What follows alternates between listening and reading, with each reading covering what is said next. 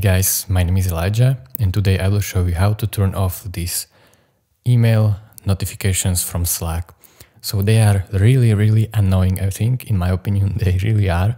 So if you want to just turn them off, go over to your profile picture, click on it, go over to preferences, and then these notifications preferences will open.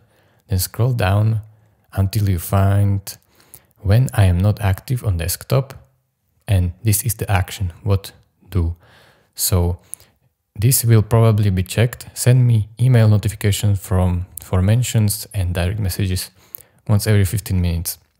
You can set it to once an hour or you can just disable it like this and then you get no email notifications which is what we want because they are really annoying. If you agree type it down in comments. So thank you all for watching and if this was helpful to you consider subscribing and liking this video and see you next time. Bye.